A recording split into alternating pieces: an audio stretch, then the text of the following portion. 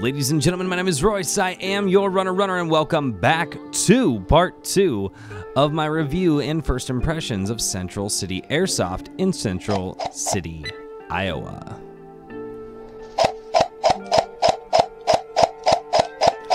In this gameplay, I was actually able to see more of the field starting at the uh, southern spawn point, and over the course of the day, I got to see some of the games that they ran, and the one thing that I noticed is that the way this field is structured, it lends itself to a lot of different styles of gameplay that they aren't currently running.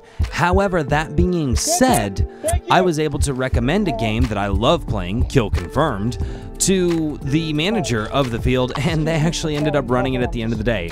So it makes me super happy to know that they're very, very receptive to things like that. Not a lot of fields are receptive to things like that. Some of them are set in their ways, but the manager told me they're always looking for new games to try out, and because of the small player base the other day, they were absolutely willing to try out Kill Confirmed, and a lot of the players seemed very happy with it, so that made me happy being the new guy and not completely making an a hole of myself.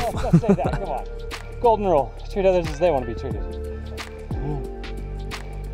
Oh shit, to our left, left, left, left, left, left. This field has a bi weekly or twice a month or every other week schedule.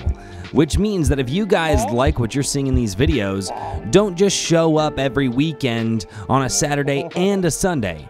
From what I can tell, you need to follow them on Facebook and keep updated with when they're going to be hosting their games. They again, they seem to do every other weekend. It's usually on a Saturday, and they get the games started uh, after safety brief right around 10 to 10:30, and then they run through the afternoon. I myself left a little bit early, uh, so I wasn't able to see all of the gameplay through the whole day, but had to get back home and start editing some videos. So that's their schedule for you guys if you guys are interested in coming out to this field. Right. All right, he's in this building out here. Well.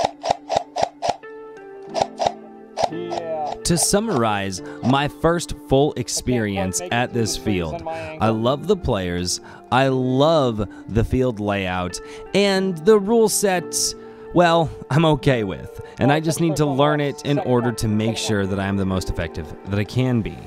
But overall, the management was super receptive to me. The players were super receptive. The games were fun. And the field had a very, very interesting layout and a very, very interesting uh, dynamic to it, which made me just want to play better. So, overall, I'm definitely going back to this field. Like, period, end of discussion. I am going back to this field because of the overall quality of people out there. Um, even if the field was as dynamic as it is, if the people weren't as fun to be around, I probably wouldn't be going back. So, score for the people. Thank you all so much for watching this video, and I look forward to seeing you next time right here on Runner Runner Airsoft.